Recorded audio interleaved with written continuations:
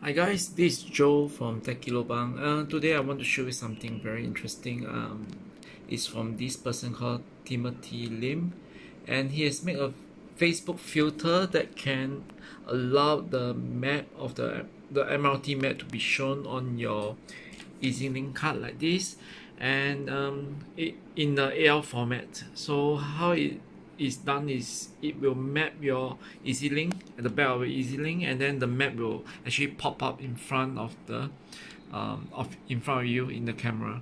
So uh, difficult to explain to you like this but I'll show you right now. So first I have to send the notification.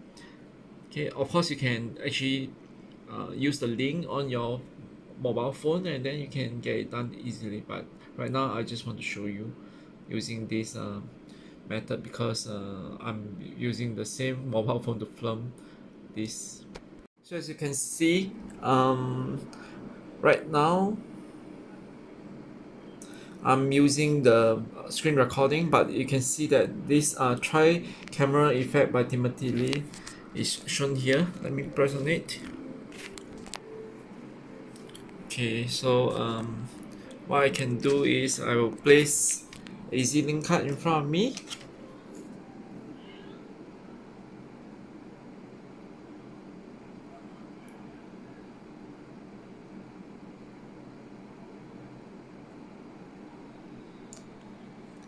Okay so.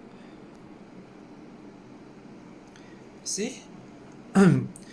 Now you can see the system map of the LRT and MRT line.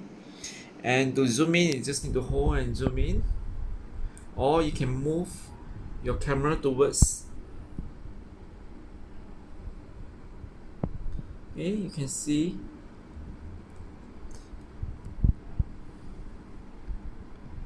And um, yeah it's very interesting.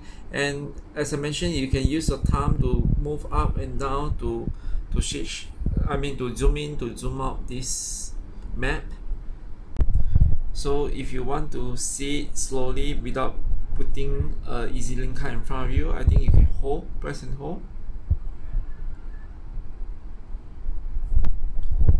And then you can zoom in and see it.